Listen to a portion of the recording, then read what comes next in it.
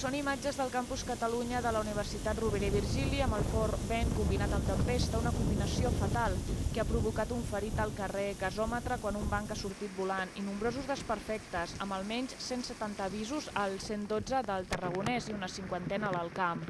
Arbres caiguts, carrers inundats, mobiliari urbà destrossat, afectacions, també edificis amb caiguda de fragments de façanes i a les carreteres l'autopista P7 amb dos carrils tallats per un accident a l'altura de Tarragona que ha provocat fins a 4 quilòmetres de cua.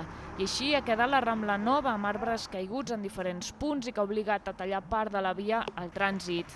Imatge que s'ha repetit al passeig de Sant Antoni, com veuen, amb arbres literalment a terra. El mateix ha passat a la zona de boscos, on una vintena d'arbres ha caigut a peu de carrer. Destrosses també a la sala del Pretori, que demà no i tampoc ho farà el circ romà, ja que el vent s'ha emportat una de les tanques laterals.